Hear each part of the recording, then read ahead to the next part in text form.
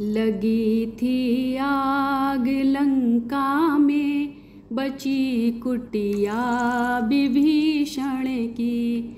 लगी थी आग लंका में, बची कुटिया विभीषण की। लिखा